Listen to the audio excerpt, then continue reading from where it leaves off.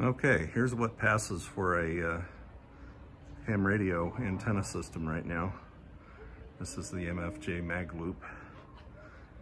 And the RG58 coax I was mentioning goes along here. There's the neighbor and comes down the side of the house and into my conduit box and then down to the shack.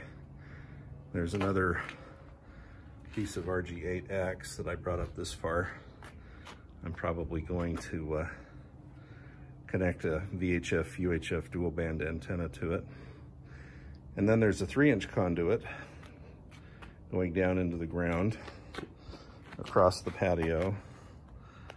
And it does not come up in this box here, but it goes out to way over there. It's about 140 feet total run.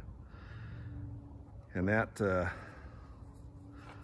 um, conglomeration of uh, pipes sticking up will be the location for my new uh, vertical antenna, or should I say the relocation of my um, Butternut HF6V uh, antenna.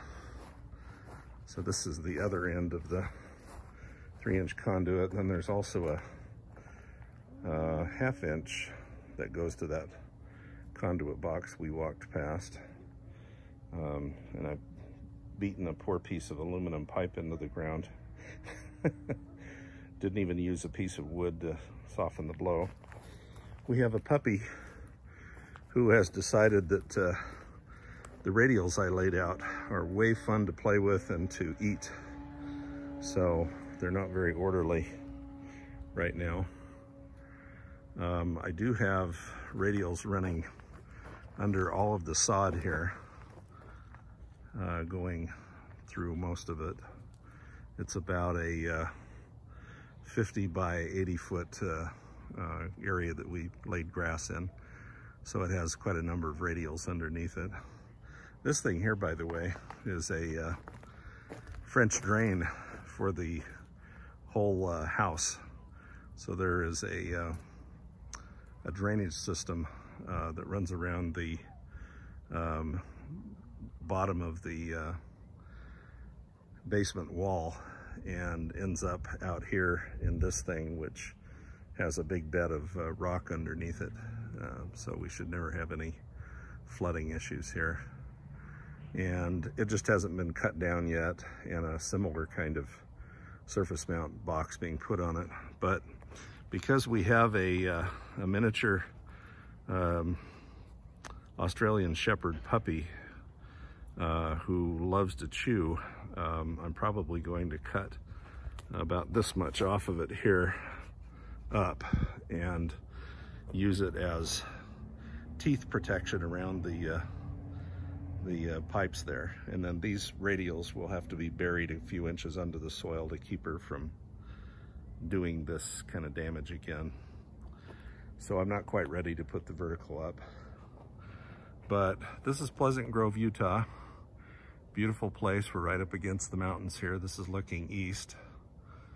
And uh, there's only three houses on this street. My wonderful neighbors next door here uh, who uh, the husband, uh, Matt, is uh, my new best friend, and he's very interested in ham radio and probably wants to get his license.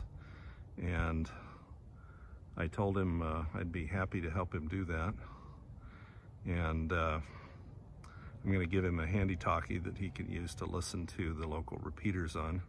He also wanted to know all about what I was doing with this antenna, so I brought him over here at various stages and showed him how I was laying out the radials and why we needed radials. Anyway, it's a beautiful area. We're on about a half acre lot here and uh, life could be uh, way worse. That's Nala, by the way. Hi, Nala. Nala is our white golden retriever. She's about six years old now, and she does not chew antenna wires. So she's a good dog. Aren't you a good dog? Yeah, you're a very good dog. She just hangs out. She wants to be wherever I am. So anyway, this is the back of the house. And way over there again is the Magloop antenna. We get something better going here, but uh, at least I can get on the air a little bit. I'll show a little bit more of a close-up of the antenna. So both of these pieces are from MFJ, this uh, tripod as well as the antenna itself. And uh, it's not bad. I probably made a little bit of fun of it by saying it's somewhat better than a wet noodle. Um, it's actually better. Um, like any antenna, if you put it up higher, it's going to do better. It can mount, uh, be mounted either vertically or horizontally. Uh, lower to the ground, you want it to be vertical. And yes, I have made coast-to-coast -coast contacts with it. I've also made uh, similar contacts with a couple of homebrew uh, mag loops that I did using copper pipe. So it's not a bad antenna. The only downside is uh, MFJ wants, I think, like $550 for it now. Whew. I, I think I paid 400 for it a couple years ago. And since you're wondering, that's where our big, beautiful new hot tub is gonna go. So we still have a lot of things going on, lots of moving in to do. And that was the ladder I was using to string the coax up so the puppy doesn't reach up and chew it off. She's already chewed off the ends of one of my coax. So it's kind of a mess, but we'll get organized eventually.